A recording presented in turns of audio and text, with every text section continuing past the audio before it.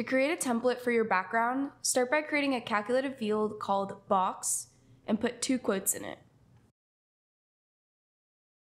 I'll drag this calculated field to the marks and change it from detail to text.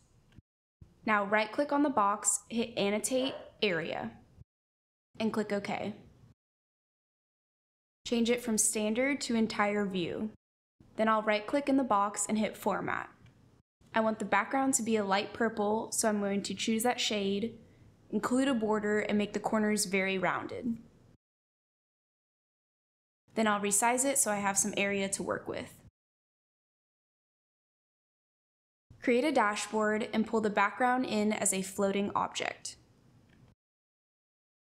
Then I'm going to hide the title and resize it so it fills up our entire dashboard.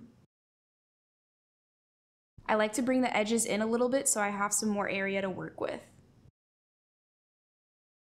To create more containers on this dashboard, I need to click on an area that isn't already inside our box. Right click, annotate, area, and hit OK.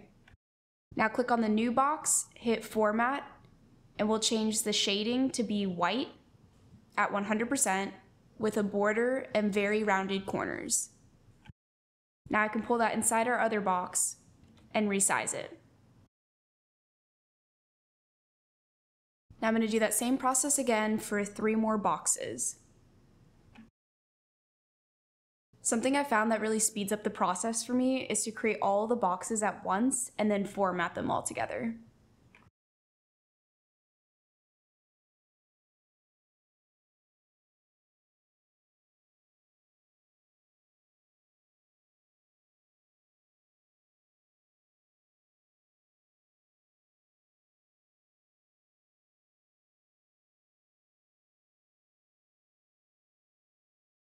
With boxes that are more rectangular than square, I like to change the corners to be more rounded rather than very rounded.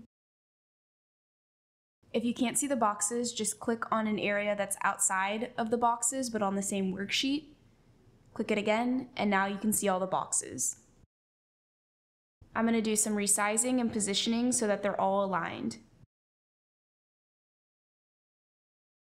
And then we'll have a custom layout for our dashboard that doesn't rely on any external sources like images from Canva, because this is completely built in Tableau.